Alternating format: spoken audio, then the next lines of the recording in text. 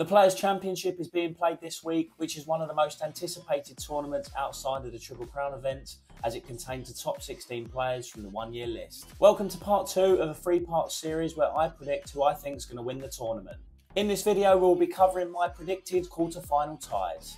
If you haven't checked out part one already, please go and watch it first because these matches are based off predictions, they are not based off real results. So let's get to it. So for our first quarter final, it's Judd Trump up against Tom Ford, and for me, this was the easiest result to predict. I can't see anyone other than the ace in the pack winning this one.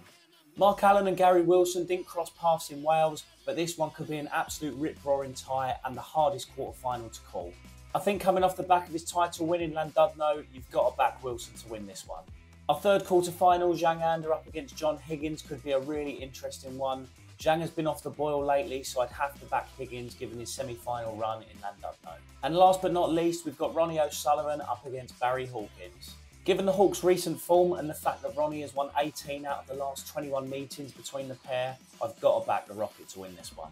And there we have my predicted semi final matches. Gary Wilson up against Judd Trump and Ronnie O'Sullivan up against John Higgins. Two absolute crackers. Let me know in the comments if you agree with my predictions and if not, what would you change? Be sure to like and follow for part three of my Players Championship predictions alongside Daily Snooker roundups and news. Thanks for watching.